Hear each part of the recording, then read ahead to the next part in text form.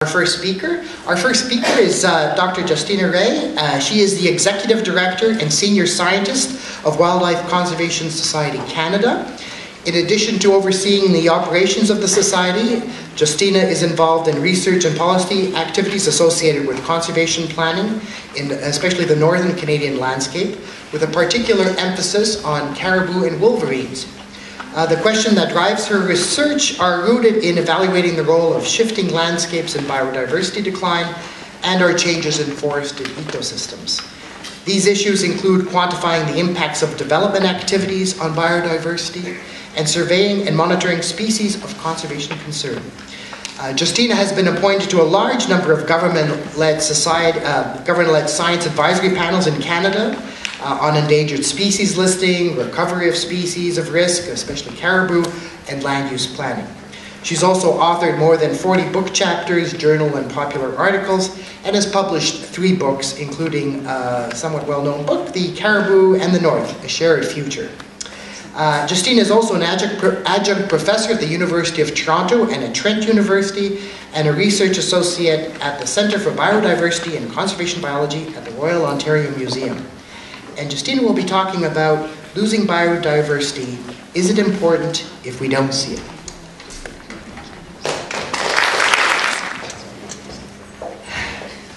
Well, thank you very much for inviting me, and, um, and I'm thrilled to be here and see all the interest.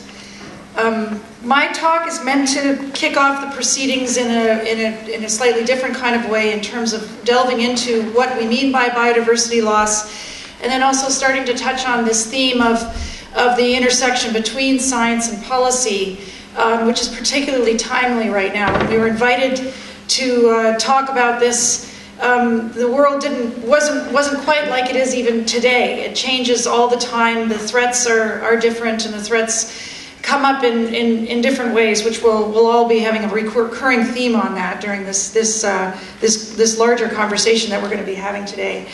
So I'm going to be speaking both about, uh, you know, trying to frame what, um, what, characterizing what is the biodiversity loss, telling some stories on that score, some well-known species that some may or may not be familiar with, and some stories that are unfolding as we speak. But then also talking about why is it that, uh, you know, the majority of people, although we may be aware of this, why it still isn't particularly registering in terms of of um, actual doing something about it from uh, in the play, in the ways that count. And finally, I'll just uh, start talking about, based on some of my own personal experiences, this intersection and this link between some some of what uh, the roles of science and policy uh, writ large in terms of uh, what are the kinds of things that we have to we have to be doing to change the situation as we describe it. Um, so we already got a bit of a primer in terms of in, in what is biodiversity. I mean, it is quite simply life on Earth. It's the building blocks of natural systems. And, and diversity isn't just about sheer number of counts of species, it's, it's the variety within species, it's the variety between species, it's how they express themselves on the landscape, it's how they're organized. And it can be considered at a variety of scales. You can talk about biodiversity at a very local scale, but you also need to keep your eye on the larger picture in terms of uh, regional and uh, national and uh, continental and global scales as well. As well, and that's the, the, those inter intersections of scales are critically important.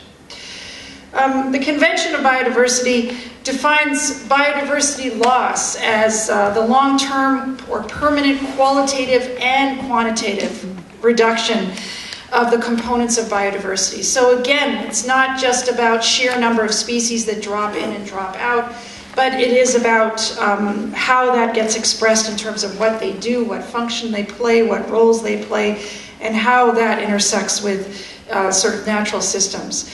And um, but it, it's also, you know, we're, we've already been talking about how biodiversity and, and the component species play particular roles and, and services. So it's also about how those services get lost or uh, augmented or changed over time. And biodiversity of, the, is, of this problem is always in the background. It's, it's rather insidious, and the issue of climate change has conjured up sort of apocalyptic in, uh, you know, visions. I mean, we've got movies about kinds of things that can do. We can imagine what, uh, what it would be like if we were buried under the sea or if, or if we were in excruciatingly hot weather all the time. But we have very difficult to imagining what it means to lose this biodiversity because it's kind of much more of an abstract concepts, but it is very tied to ecosystem and environmental degradation. So it's this sort of sense of loss and decline and just sort of insidious stuff going on in the background that we really can't get our hands around to really understand how important it's going to be and how it's going to play out. But um, those of us who do spend some time measuring it, and uh, this is a particularly interesting index that gets compiled every few years by World Wildlife Fund, which does have kind of a global scope to its operations. And it kind of tracks as long as we have data, which is admittedly in the world of history isn't very long. Um, you know, sort of back the, you know, 40 years or so, looking at, well, how are we doing? If we started off at, you know, at this place um, in the 1970s or so. How's it going? Well, it ain't, it's not really going all that well. Um, and in, you know, we are um, eating into our natural capital, so to speak. And so, as we move around and we have these particular indices for measuring this, which relate to the trends in populations that we can measure and know about, which are really a fraction of what's out there, against the backdrop of some of the other kinds of changes that are occurring uh, we have some reasons for concern. And, um, and, and there also, this is about the time where others have measured in terms of looking at our kind of ecological footprint, sort of how we interact again with our natural systems and use them up. We're kind of in a deficit situation. And uh, there are, uh, particularly in, in some of these so-called you know, developed countries, where we live, we really use up way more of the Earth's um, resources than it can provide. But then let's also look at sort of the components of biodiversity, those building blocks, which are the species. And if we look at sort of the well-known groups, I mean, um, and we just saw a, a, slide sort of that looks at this. I mean, how many um, have we assessed? Well, we've done, we, the broader we, has looked globally at, at 52,000 species or somewhat and, and, and been able to look at them through their, um, uh, you know, using various criteria that we know empirically are, um, make them at risk of extinction, which relate to either small population sizes, uh, very restricted geographic areas, or showing precipitous declines. Um, and of those 52,000, we've got um, about 20,000 that are at high risk of extinction already. And here's the breakdown in terms of uh, if you look at of the number of birds that have been assessed, somewhere between 10 and 15 percent of those species are considered to be at risk. I mean, that's kind of amazing when you think about all the number of species there are on the planet, that so many are already in trouble. And then if you look at the ultimate metric, which is extinction, that's really when it's all gone. And scientists really don't like to say that because there could be one or two somewhere. So when we say this, this is actually pretty profound statement. And so um, to think that uh, 800 or so have become extinct in the last 512 years that we actually know about is actually quite kind of um, sobering thought. So I'm going to take you through a few stories here of some sort of species groups. I'm not going to talk about individual species for the next few minutes, but kind of highlight a few groups of species that people are mostly familiar with. A lot of them live in Canada, and they're kind of these syndromes that are occurring. Some of the time we understand the reasons why um, these declines are occurring, and some of the times, or many of the times, we really don't. But they are working in these kinds of groups of species. Now, the first one is diadromous fishes. Diadromous means Quite simply, that these are species of fish that migrate back and forth between freshwater and marine environments. And this is, makes mm-hmm. their life very complicated because they can migrate for many hundreds of kilometers. They're exposed to a number of different threats that play out both in marine systems and in freshwater. The majority of these guys breed in freshwater environments like salmon, but then they spend part of their life cycle out in the marine environments. But some, like eels, do the opposite. And so this exposes them to a number of threats. And um, uh, this, you don't have to worry about any of these except to look at the shape of the lines. They're all kind of going down. These are, when, um, for a particular study that was done not too long ago, they looked at 33 or so time series, meaning they had good population information at the beginning of a certain time period and good at the end. So they could actually compare what was going on over time. And in all of these cases, we've got, uh, pretty much all of them, we've got some tremendous declines occurring. in of these 35 time series, and we're, ta- we're talking about maybe 15 to 20 species of, you know, these are eel, the, this is the American eel, this is the European eel, this is, these are across the globe. This is a, um, uh, Atlantic sturgeon, some of the salmon species, Atlantic salmon. And about 13 of, their abund- of, of these time series showed abundances that had dropped to about 98% of historical levels and an additional more than 90 of, of 11 of these. So this means that most of those that we examined, where we had the information, not we, these guys, um, were uh, classified as threatened or endangered, and where there was reason to see that there was quite a profound change that had occurred. And indeed, the situation now, if you look at this kind of schematic with a number of these fishes, is that uh, you know, we, they once were a great abundance. They were uh, depressed uh, more in the last century, more due to overexploitation more than anything. But then, once we stopped that kind of pattern, other effects started coming in that related more to habitat, in particular, um, you know, hydroelectric development in some places, habitat erosion, but also things that we don't really quite understand that are playing out in both the marine and the freshwater environments. And so we get down to this place where we are right now. Um, where they are in a completely depressed state compared to what they were, but it's like the new normal. And this is a, this sort of sliding baseline phenomenon, which I'll be talking about a couple of times. I'm sure it'll come up again is, is quite pervasive and very well illustrated with this set of species. But flipping to a completely different topic, let's look at cave dwelling bats. Now, there's about eight or so species of cave dwelling bats in North America who were doing, going along quite happily until about five, six years ago when all of a sudden a bomb dropped in 2006. A fungus came in that was imported inadvertently from Europe. It showed up in a cave, and lo and behold, dead bats started appearing all the time. And this is called white nose syndrome. And it is a fungus. And um, we're talking about the little brown bat, the most abundant bat um, uh, in North America. And we're talking about this is a schematic of the spread of white nose syndrome. In just uh, six years, it's gone at a rate of 200 to 400 kilometers per year.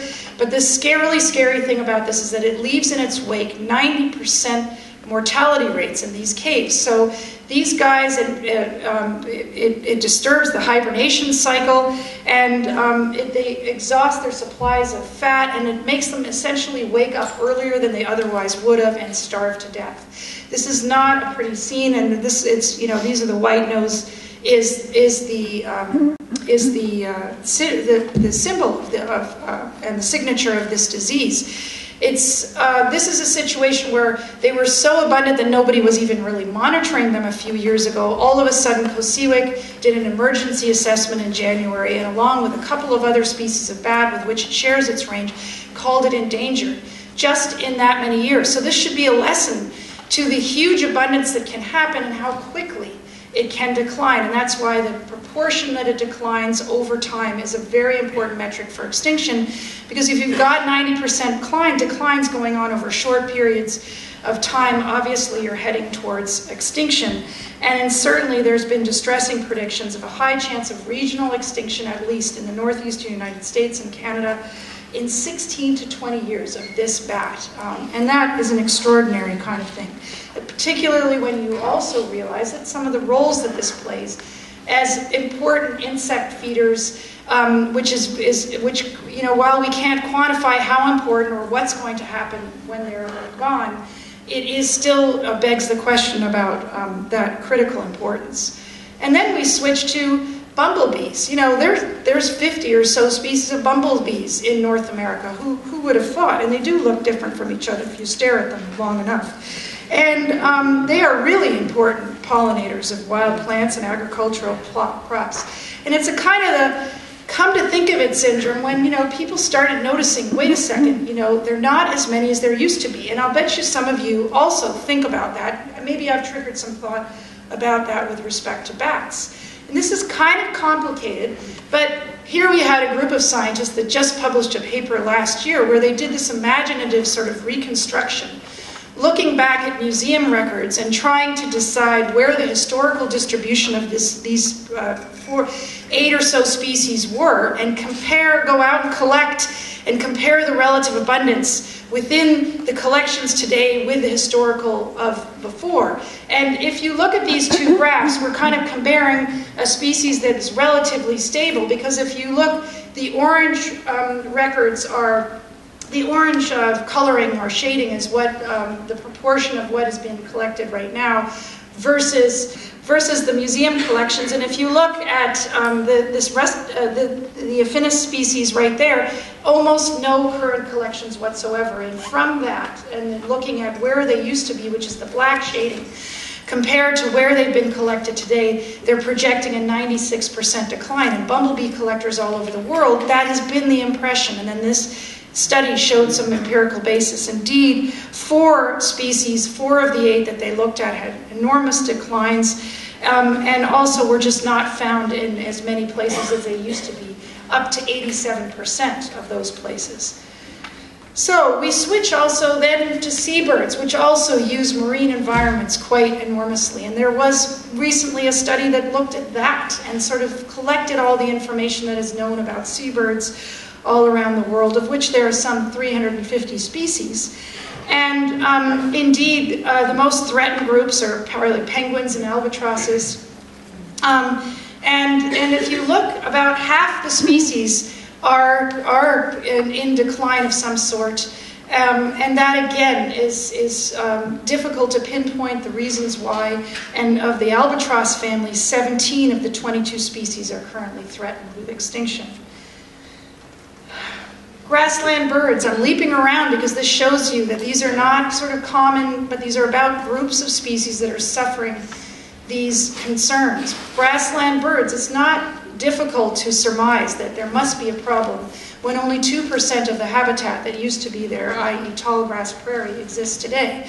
And we know the reasons. I mean, they were the first most productive ecosystems to go under the plow uh, over, you know, 200 years ago, and, and there are a number of uh, constellation of threats that, that uh, keep this like this today. There, most of these systems are a shadow of once they what, what they once were, and those species of birds, many of which um, occur in these areas in North America, um, are tied to those habitats in, a, in very important ways and are showing declines accordingly.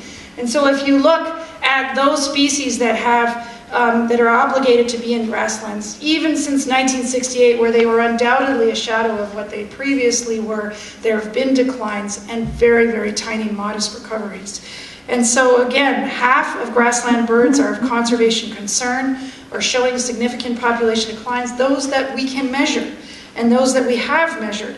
And, um, and this is another uh, difficult uh, situation.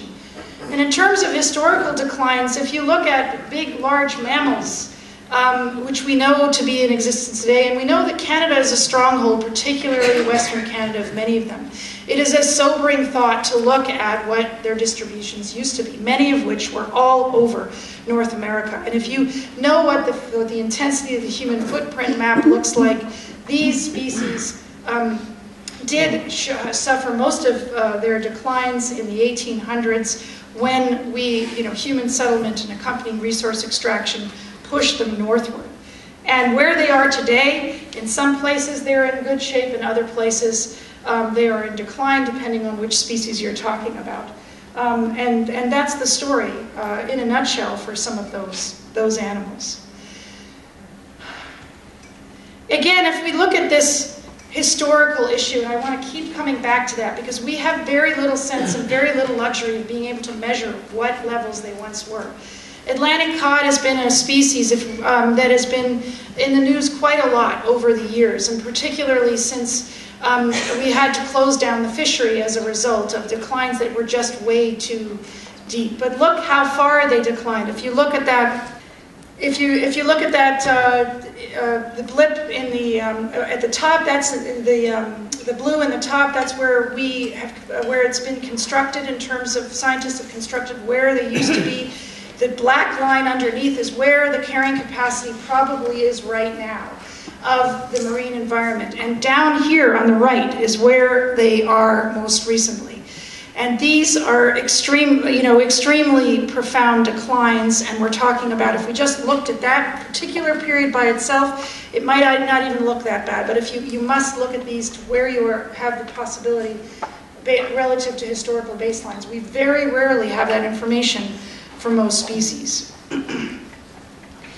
Europe is an area that really can show us uh, kind of the, the harbinger of the future in a sense. And indeed, they churn out species red lists um, on a regular basis of things that we don't think about all that much. And, um, but there are extraordinary um, uh, statistics that relate to particular, like 11% of the beetles that depend on wood are um, at risk of extinction. Nearly third, one third of Europe's 435 butterfly species. Um, and then also 14% of dragonflies. I mean, that is an enormous amount. And those are often, I mean, many people like to think of Europe being sort of 50 years ahead of us. And so we could be looking at them as a future. And one particularly sobering study came out just very recently, and these are common farmland birds. These are birds that sort of have adapted to the European land pastoral landscape. Well, new farming practices that came into play that kind of eliminated hedgerows and other diversity even started placing these very common, well-adapted birds to human landscapes in precipitous decline, and some of which we are uh, familiar with, like the starling, 53% decline. So these are also sobering statistics that we need to pay attention to. And again, those are only the ones that we actually really know something about. And it's very important to say that of the 52,000 species that have been assessed, almost 20% of them have no data at all. And other species that haven't um, been assessed at all above those 52,000 species are often because there is no data. There are no data. And so it's, it, you know, it's only for those that we have the luxury of being able to look at time periods and how changes occurred over time and what their conditions are, which really takes a lot of effort, time, money, expertise that is in um, that we don't necessarily are able to keep pace with the concerns that, that are present. And that's not to mention the one of the species that have not been named yet or have not been discovered. And there are lots of estimates for that, and I'm not going to venture to put any out, except to show in this schematic, for example, that came out from the Millennium Ecosystem Assessment, it needs to be acknowledged. There's many that we don't know about. John mentioned that already. And so we're, we're kind of projecting or extrapolating what we think is the general syndrome out there only from what we know and what we're aware of. And it is a fraction of what really is out there and what is and what forms biodiversity as we know it. Also, as John said, species have disappeared and reappeared throughout the centuries and um, throughout generations of time and throughout the epochs, definitely. I mean, there's been this sort of background extinction rate that keeps going, but there have also been these mass extinction events, and the most famous of which was 65 million years ago with um, uh, the, during the Cretaceous period, where there was this huge, what, what is now thought to be a giant asteroid that, that, that, um, that plummeted the Earth and that caused that kind of extinction. That's the last, that's that fifth one. But many people today are talking about this as the sixth extinction. And certainly if you look at the background rates, it's many hundreds of times more, but even if you compare it with those five extinction rates, it seems to exceed that, particularly if you project forward. And also the big deal is that previous periods of mass extinction and ecosystem changes were driven by sort of global changes in climate and atmospheric chemistry, and whereas this seems to be very specifically about competition with another species, i.e. humans, and uh, competition for resources. So it is a very different world today than it was. And so this, yes, we have authority to call this the sixth mass extinction, but we also have sober second thought in the sense that this is a very different one in character. And so if we, again, we have to look at this the way it used to be in the future, compare this, look at it at the appropriate scales to really understand the kind of thing that we're dealing with. There have been conservation achievements on the positive side of the lever that absolutely must be acknowledged in this story. There's lots of hard work that goes on. The most famous, which John actually also kind of mentioned, relates to the, the discovery that the DDT was causing thinning of eggshells um, and really causing problems for bird, iconic bird species like bald eagle and peregrine falcon, falcon and others. And so this led to a very um, specific action banning of DDT, which the species responded to absolutely quickly and profoundly. And these species that were in some places at the brink of extinction, quite honestly, with, pair, with very few pairs, responded in a few generations to thousands of individuals and have been taken off lists in various endangered species lists where they are. Certainly, that is an excellent example of where the threat was known, the threat could be isolated, the threat could be responded to, and the species responded to that threat. And that is a good news story. We also have good news stories in the fact that we've been able to reverse some of our other kinds of things that we're doing that also when the threat is known and quite specific, and that relates to overexploitation. It's kind of stunning to us to think about 100 and so odd years ago that people were very, very um, needed uh, hats for, for um, uh, bird, bird feathers for hats, and that many of the species of birds actually went down precipitously. People were beginning to understand that, and they could trace it to really this particular um, phenomenon of overexploitation. That led to migratory bird treaties between the US and Canada and, uh, and, and, other uh, nations, and those actually also resulted in a reversal of fortune for many of those migratory bird species. Same with overexploitation that occurred with the repeat rifle in the late 1800s fur, rampant fur trapping. Many of those species were down at the bottom as in, in uh, range retractions, also quite low numbers, and a reversal of this situation was able to take effect over several generations. Some of these are actually um, are still in recovery, but some of some species have recovered quite well, like the beaver uh, and, and, otters and, and such things that, that we take for granted today were actually in a very poor situation about 100 years ago. And again, the response was because of um, the ability to um, relate, uh, deal specifically with this threat and reverse it through, in this sense, quite um, important regulations. We have also had reintroductions in systems, and this is sort of a restoration exercise, and there have been some important successes. The gray wolf is one of the most important successes um, that has occurred in the lower 48 states, uh, where relatively modest efforts to reintroduce these guys took off, and now they've not only uh, been fix, fixated as as um, been able to flourish and reproduce in these systems, but they've actually been able to retake in a modest but important way their old ecological roles. They're still a shadow of what they used to be historically, but it gives you some sense of the profound possibilities with these kinds of acts. Certainly, wood bison have also been reintroduced into areas where they've taken off. There have been these important successes. And then also when you relate to restoration, and we'll hear about a great example this afternoon um, in Sudbury, these have occurred also on a continental scale. If you look at the dark green net gain of forest, I mean, some of the most um, important examples are in northeastern United States and Canada, where forest cover was denuded with agriculture 150 years ago, and it has come steadily back since then. It's somewhat of a shadow of what it used to be. It does not have the same character of biodiversity the same complement of species, but it does represent an, a restoration event that has occurred and that should be documented on that positive side of the ledger. But even with all of this put forward on the positive side of the ledger, we still have this story that I've been telling about overall negative trends going and some very disturbing new phenomena where the threats can't be so isolated.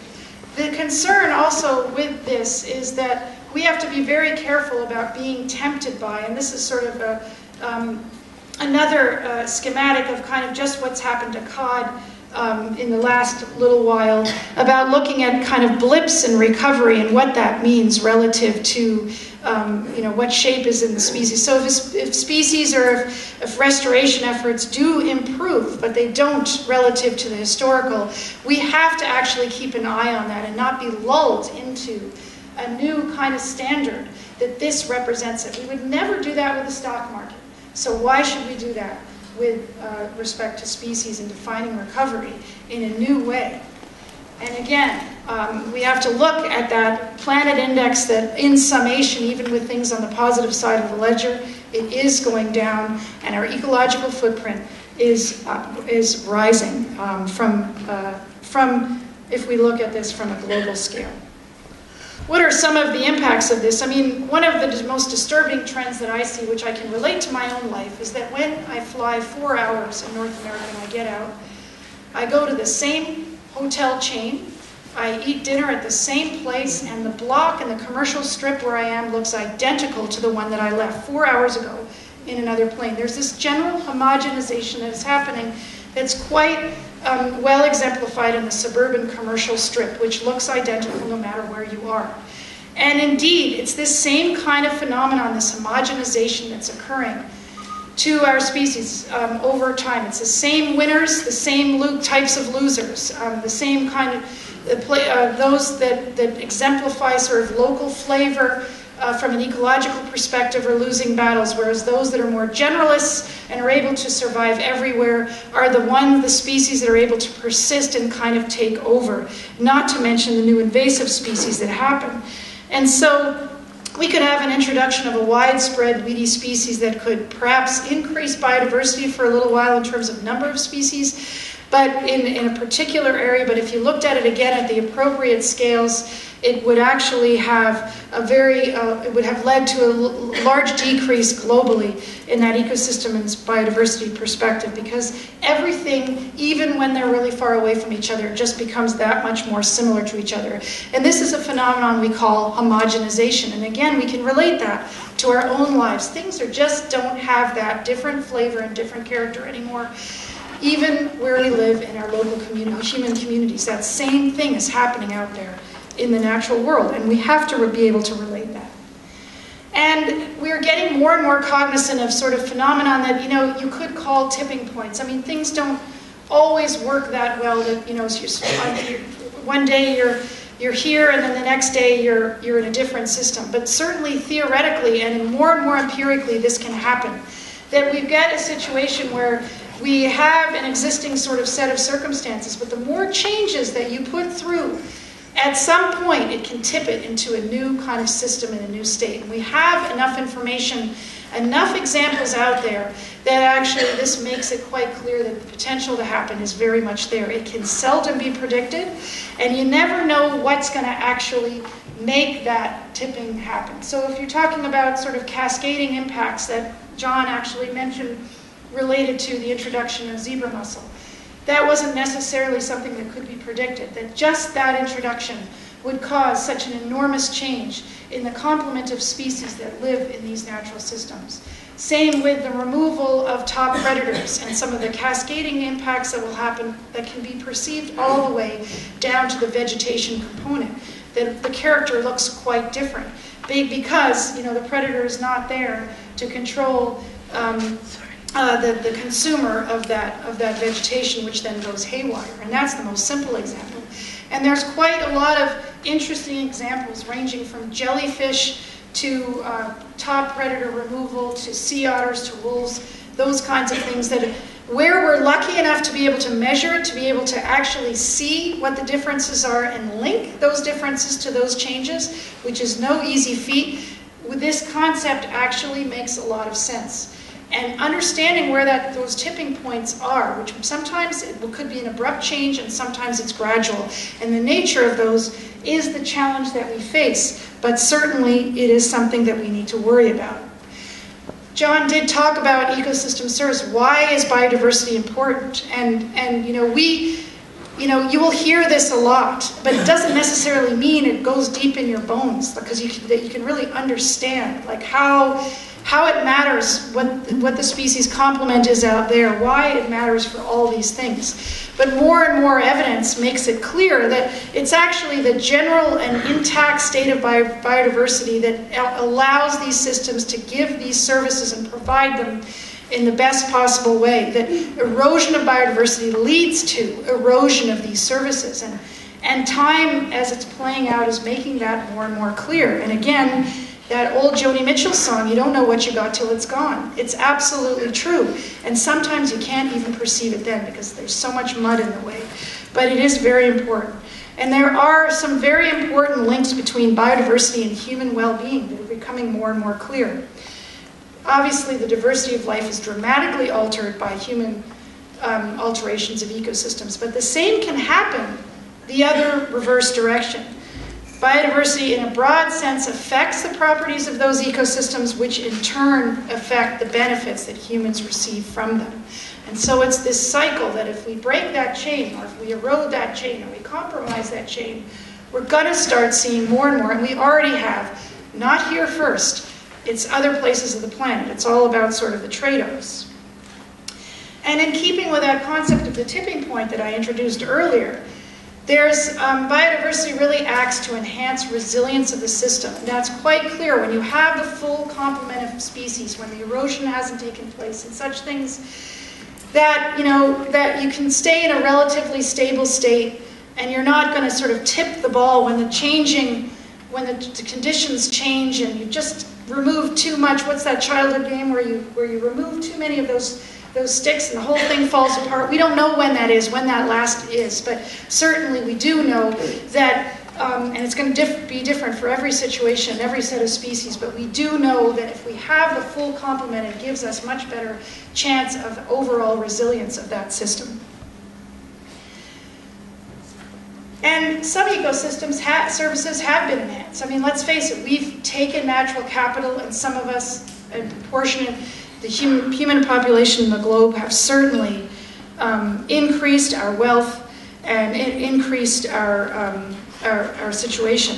Um, but those modifications to enhance one service have generally come at the cost of others, and other people perhaps very far flung. And we're just beginning to play that out. In the Millennium Ecos, the ecosystem, sorry, the Millennium Ecosystem Assessment, which came out in 2005, something that everyone should read, is absolutely very clear about that because when you look at these things from a global perspective and you look at this from the perspective of trade offs, of gains made in some places versus losses made somewhere else, it brings it to point in terms of the health of the planet and the impacts of these trade offs among ecosystem services affect different people in different ways living in different places. So, what is the concern? I mean, most people agree biodiversity loss is a problem. I mean, even the CEOs of companies were um, interviewed in a, in a survey in 2010, and most of them are extremely or somewhat concerned that there's something going on there. And so, actually, I would imagine, I mean, all of you have come here because you're concerned. Most people on the street would acknowledge this is an issue, they've probably heard of it. But again, what does that mean in terms of the perception enough to do something about it or enough to really affect the change that needs to take place? And so I thought I'd spend a little bit of time exploring some of the possibilities about how kind of the world affects our perceptions of this as a problem. And if, these are all my own ideas, but um, and and some of them are going to be more true for certain people as others. But it's the constellation of them all that is of interest, and there, and there are quite a few of them. I mean, first, biodiversity loss is difficult to measure and monitor. I mean, speaking from the point of view of a scientist, of course, I'll put that first because, you know, I'm only giving you the stories that hit you over the head. There's a whole ton of them where you really don't have that information. I sit on the Committee for the Status of Endangered Species of Wildlife in Canada, COSEWIC, where we make these decisions several times a year where we look at reports and the data and all the data that there are on many species to see what's going on, and we're never sure. We cannot really tell. Now, sometimes we're very sure, but many times, more often, we're not sure what's going on. And indeed, it's really difficult to measure uh, measure these. It takes a lot of investment. It takes a lot of people. It means people also measuring the right things, which I'll talk about in a minute. And in today's climate, this is getting much worse. And we have uh, currently, you know, in the, the current federal budget, huge moves um, in a number of different directions, which collectively are decreasing the capacity of science at a time when actually the threats are increasing and where we have plans to increase them more.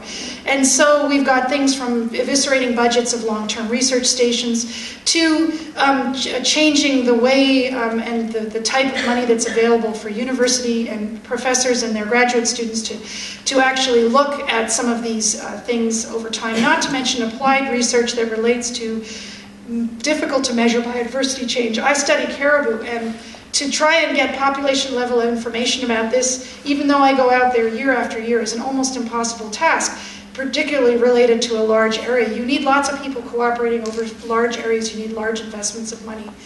And this is not to, this is what about the species that are completely ignored, where people can't identify them, let alone know where they are, find them, get to them, all those things. It's really difficult to measure and monitor. So if you guys don't know about it, if people don't know about it, it doesn't land on a list or something like that, does that mean there's no problem? Not necessarily. So the difficulty is very difficult. very well done. Well said. Please don't. it's not an immediate issue. So look at this graph here, those same CEOs looking at sort of, well, if we relate it to kind of the money that we're losing on this and relative to the likelihood, uh, biodiversity loss is not really in there as much as extreme weather and other kinds of things that we're much more concerned about immediately. Mm-hmm. Again, we can't really define it, we can't feel it in our bones, we don't understand it, we don't know what it's going to do, we can't predict it. So it just doesn't register in the same way as that kind of stuff that we can sort of see in a movie coming. We can understand the idea of a big, you know, being dr drowning in a wave. We can understand all these kinds of things conceptually. We really don't understand what that, how that's going to play out among biodiversity natural capital has no traditional economic value whatsoever. And so this is a, a, particularly concerning issue that under the current model, a country could cut its forests, deplete its fisheries, and still show net positive gains on the GDP. And, and that it is happening and has happened. And we don't figure into the enormous number of water that we need to exploit um, oil in this country. That just doesn't show up as an economic cost. And although many people are doing great work in terms of trying to cost that out, it's not yet part of our system. It's not how we value things. We still think it's free. And so um, that, that is an extraordinary important thing to do. We've got this business of baseline shiftings, the new normal that keeps occurring. It's sort of like, you know, when you get older and your, your, your, your baseline for your weight keeps shifting, like, you know, in terms of where you want to get. It's the exact same thing here, except over a long period of time. We don't remember fish this big in our experience. We don't remember fish in a huge amount of abundance. So our baseline keeps changing depending on our particular experience. And that cultural tie sort of leaves, and so we don't have that. And so our new normal keeps shifting, and that's the basis by which we measure progress and success. And sometimes we feel pretty good about it because we're not measuring the right thing. We're physically removed from most biodiversity. Most of us live in urban environments. We don't see it. Um, and, you know, we can ignore it. We can ignore these issues going on and um, very easily in our day-to-day -day lives. And, and so that's an obvious reason why. You know, biodiversity loss is incremental. It's about sort of all of our decisions that we get made that affect biodiversity happen in a piecemeal basis, or one piece after the other, and it can happen over large periods of time. This is a schematic of Norway looking at forest loss as it relates to caribou over time. That's still a long time period in relation to people, whether they perceive that loss or not. It's sort of another come to think of it kind of thing. There used to be a forest here, but there isn't anymore is sort of, it has to kind of dawn in your conscience, and it really doesn't. And that we make all our decisions incrementally and one at a time, and rarely are we in the position, and rarely are decision-making frameworks in a position where they're able to kind of take a step back and go, wait, how are we doing? And um, that's also makes it very difficult we attach more importance to a subset of biodiversity. And when we, it's not everybody, but we kind of think about the things that we use that we care about specifically. And there's a big wave of that going on right now.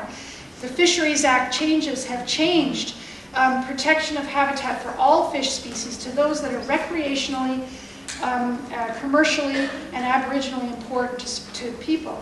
And so that, if you look at from a fish perspective, that winnows down the number of species that we've chosen to protect now to about 20 percent through habitat protection if those changes do go through. That's profound, and if people don't understand that, you know, that's something, um, you know, the, the, about in terms of the, the, the, enormous number of other species that there are that don't get in that net. Is it only important if we use it, if we think about it, if it's in our conscience? Probably not. And we're worrying about biodiversity loss stands in the way of progress. And this is absolutely important these days as well. Environmentalists uh, being environmentalist is now um, a radical. It's somebody that's sort of a, a, a, against kind of Canadian values. And that's become a new kind of narrative. And it's sort of, well, in changing uh, economic climate do we really have the luxury to worry about biodiversity loss? And it's again the short term versus long term perspective. Again, a good reason why we're not really paying attention as a collective society. Another reason is we can't really perceive it from the point of view of a lot of these organisms out there. We don't understand the way they look at habitat.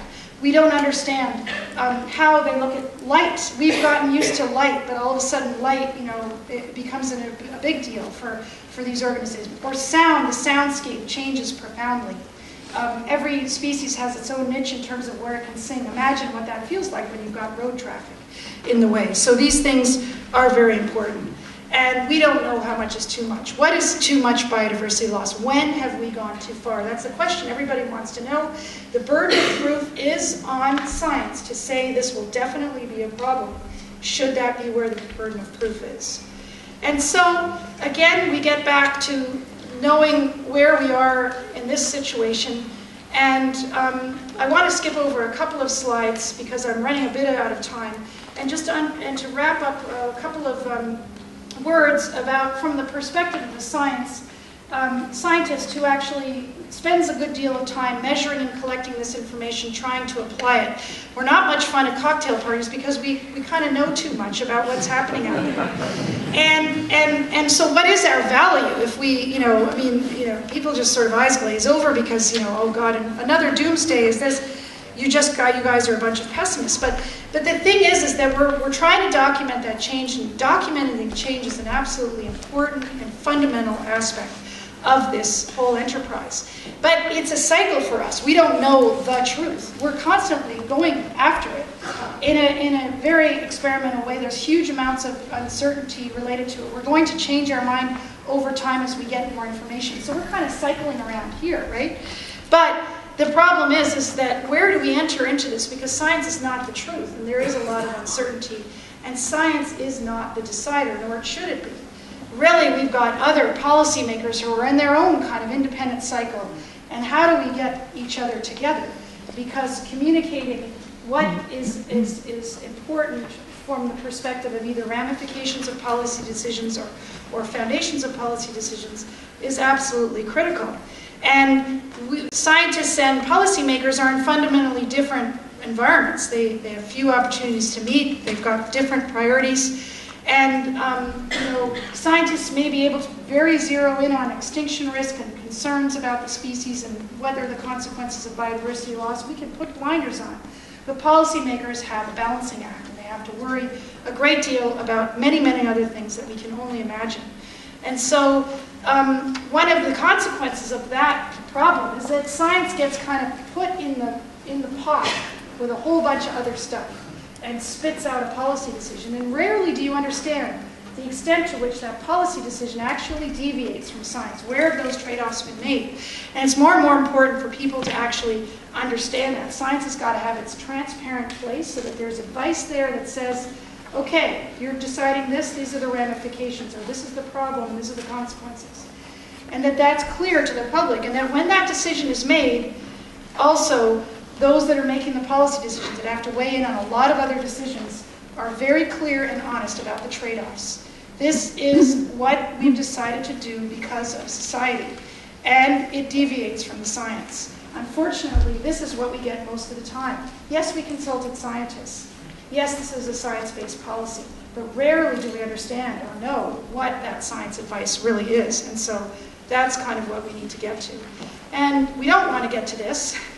And we want to, to really um, get to a situation where we can have that, that transparent place. Um, and and uh, you know, science can help ensure that decisions are made with the best available information, but we aren't going to actually make the final, final decision. And and that, that is, that's a very important thing for us all to remember. And I'm sorry I've taken up a little bit more time, but I'm happy to answer any questions. Thank you so much.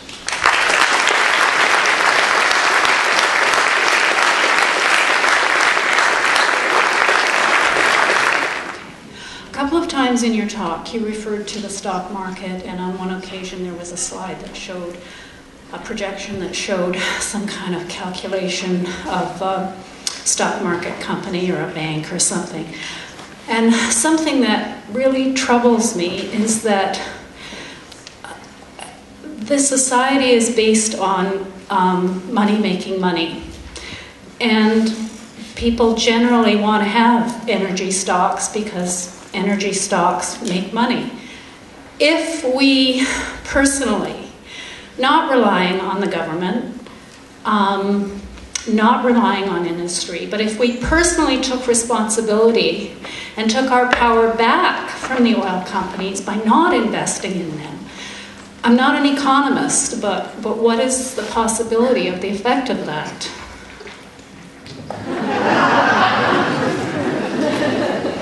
I'm not an economist either. Um,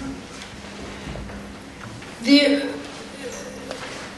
I think that those kind of things can have important uh, effects. Right now, it's kind of a boutique. Uh, it's sort of a very few who, who deal with ethical invest, investing, and and often sort of the, the more conventional model will be to to not worry about you know that's, that's not where, where you want want to put your money and and so the conventional aspect is not to do that. Certainly you would need a, a large number of people to make an impact but the other issue that's very concerning is that everything is intertwined so where do you draw the line? Because many companies and even foundations who give away money now have have you know, some of their, their capital is, is based on, on, on the same kind of thing. So, so drawing the line in terms of, of all, where, where you draw the line in terms of, of where all these different components intertwine and, and are affected by one another is a, is a very complicated thing in this equation. So it's not so clear that these companies you stay away from and these are fine in that regard. And so uh, that's one of the big challenges that, that are going to have to be grappled with.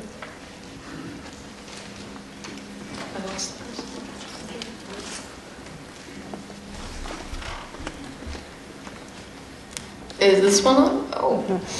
Um, I know as a high school student, you know, I'm, I'm the generation coming up, and I'm watching the news and I'm going, oh my goodness, what are you doing to me? Um, you? maybe not you personally. But my question is, in your opinion, what is the single most important thing for the government to do on this issue? If you were to give them one command that they could do, what would it be? Hmm. Well, uh, the first thing, uh, you're talking about the federal government, or? yeah, the first thing would be to uh, keep pace with the, I mean, show some restraint, number one, and, and keep pace with uh, the changes that you're, you're, be knowledgeable about the changes that you are promoting, and, and invest in the science to be able to uh, measure and monitor those changes and be able to adapt your policies accordingly. Right now, it's it's it's heading in a in a direction. It's a runaway train, um, and and all of the supporting services are are being cut off in terms of being able to keep pace with that. Um, so we have no prayer of being able to understand what the consequences of these changes uh, that are forthcoming in terms of this new uh, push for resource development into very new areas uh, for Canada, very fragile areas on which we depend for many services.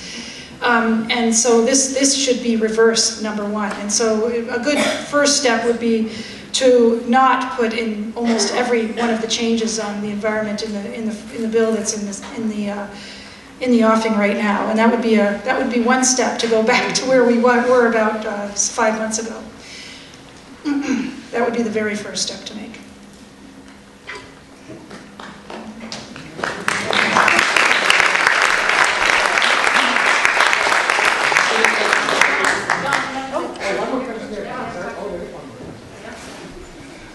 You presented some uh, some very interesting information on on a number of species that's all quite alarming.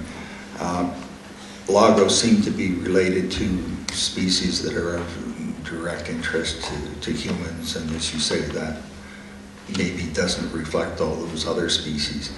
Are, are there any uh, studies that kind of identify certain species as uh, samples that representative of large groups and uh, that then relate those to overall impact on humans so that we can take all this information and project what the major impact would be on us as a species? I would think the collective set of information that I presented actually does just that. I mean, um, it isn't, we ha- have measured those, but though many of those are not important to, to humans in the traditional way. I tried to show how they, they should be important. For example, bumblebees um, uh, are important pollinators, but you know, whether we ascribe importance to them in a traditional way is, is not at all clear. That is a very good example of sort of insidious changes that are happening that may be related to insecticide use, also insect-eating birds, which is a, a group of species that I did not put on there. A, it's a syndrome occurring with a, a number of aerial insectivores that no idea from related from barn swallow to uh, to flycatchers and such things that that, you know any all, all birders are completely aware of that they have not seen as many as they used to and have been very important part of documenting that decline over the last 20 30 years um, 20 to 40 years actually and and that is a syndrome that really also is reflective of sort of uh, larger changes in the ecosystem another set of species that is important are freshwater fish particularly in southwestern ontario where some of earlier changes were related to um, system uh, uh, more water quality issues, which seem to be the main prevailing force in the 1960s or so on. Those forces have been replaced by more important, more insidious ecosystem changes related to introduction of different new fish like the round goby and others that have sort of come, led to very profound ecosystem changes that are leading to declines in many of the freshwater fishes, but we don't measure them all that well. And so we only have some idea about the declines. And these are uh, fish that actually need uh, clear water um, to navigate and, and, and, and, a number of other kinds of, of things like that. But I think that the species that I presented, many of which are not particularly important in the traditional way in, in that we don't use or hunt them, still does, as an assemblage, um, represent uh, generally what we need to be concerned about. I would. Oh, sorry. Yep. Um, you spoke to the topic of the lack of knowledge about the issue and the lack of caring throughout the general public, and I was wondering, like, what would be a few of the main steps you would want to take, and through that, like, what would be the goal? Would your goal be to find strength in numbers behind this issue? Um, I think uh, general public awareness and is, I think it has happened, but in terms of really expressions of, of care uh, and understanding about how the way that society makes decisions um, probably runs in conflict or does run in conflict in some fundamental ways. So to be able to try and exercise change, because we are in a, in a business as usual approach is a, is a very kind of entrenched perspective.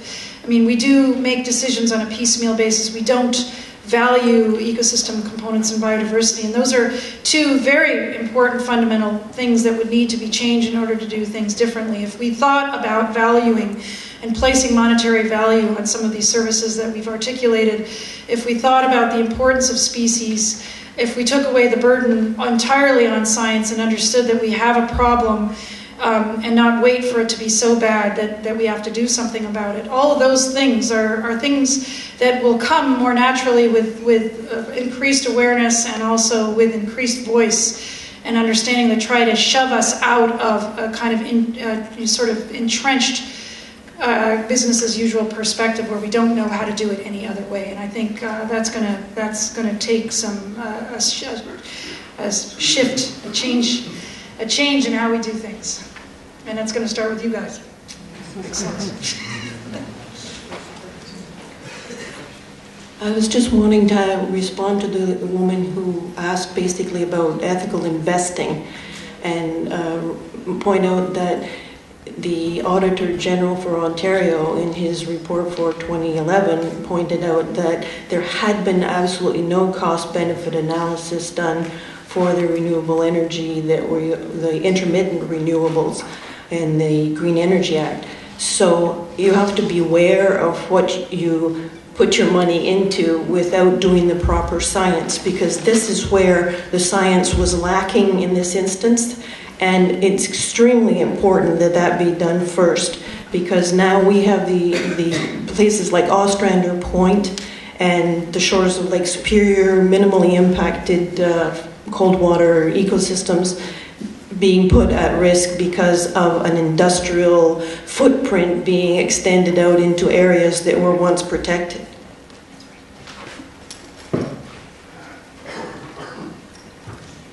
Um, I have um, two questions if there's time, but one if there isn't. Um, the first one has to do with the fact that I it's certainly very clear the value of biodiversity within the context of the ecosystem and within the context of between species. But I wanted to ask you had um, a couple of uh, charts up, graphs up that were interesting. I wonder when you drill down within the context of species where you where science is trying to figure out how to draw the line between an absolute population that preserves the ecological service relative to the species diversity for the sake of species diversity. And I'm not suggesting I think that it's unimportant, but at some point in time, absolute population may help you with the ecological service versus um, um, the range of species. Well, you're articulating very eloquently a, a, sort of a shift that's occurred in conservation biology over the last 10 years where or so where whereas before there was a focus on a concept called minimum viable population which was like okay so how many do we need in order for them to persist over time so that they'll still be around but we won't lose them? And so it was you know it led to very kind of sort of minimalist reductionist sort of thinking in the sense of okay we only need like 500 of them and that'll be fine. But more and more, as, as it became clear, um, the services that the species provide, the functions in an ecological role, this has morphed into this notion of kind of an ecological functional population. So it means that, you know, which is always, almost always, but always in my experience, a good deal higher than the minimum viable population. So that you don't really just want to manage for persistence but you want to manage for embracing that functionality, that how they represent themselves in the environment, how, how the role that they play in, in the larger biodiversity. But as you can imagine, this is very difficult to define. And in terms of recovery planning and, um, and sort of more government objectives, it, it, hasn't caught up in that way. They're still sort of in the, you know, let's, let's get them to persist and not decline anymore kind of situation. And, and, um, and really the science has a long way to go. There are some species that we've been able to define, you know, pollinator function, you need so and so many in this kind of area to perform that kind of function sometimes and under very specific purposes or, or, or seed dispersal or uh, as a predator, but it's often in small areas and um, takes a long time and a lot of experimental um, uh, manipulation in, in some cases to be able to actually understand. So uh, hopefully that answered your question. Yeah, but then within the context of, of that, if you're talking about pollinators, do you need X number of different species or with less competition from a multiplicity of species, if you still have the absolute population, can they still do the job? Yeah, I mean, so then there's the issue of redundancy. So whether whether there are others that can be re replace them, or you know, if they can take over the niche to do the job. It's a very good question. Um, the science, it, it's very difficult to answer those questions, and if you can, you can only do that on a small place. And, and I would submit an answer to that, that um, while we should strive to, to, to, to add science to that, we don't want to put the burden of science, that you have to prove that this is, this is needed and that this, we need so many of this in order to, um, in, in, order to, for them to carry on with their function and not to be impaired. Uh, that really um, the larger empirical basis of evidence that looks to the whole state of an intact biodiversity, that's kind of a better fallback position. Let's, let's try and keep what we've got, um, restore what we don't have, and, and try to assume that that plays some kind of functional role. If we're redundant in some cases, great, then we add more resilience. But let's not try and reduce the situation or try to put all the burden of proof on scientists to be able to say exactly how much we need, because in most cases we're not going to be able to get there. Yeah, okay. Well, thank you very much. Uh, we'll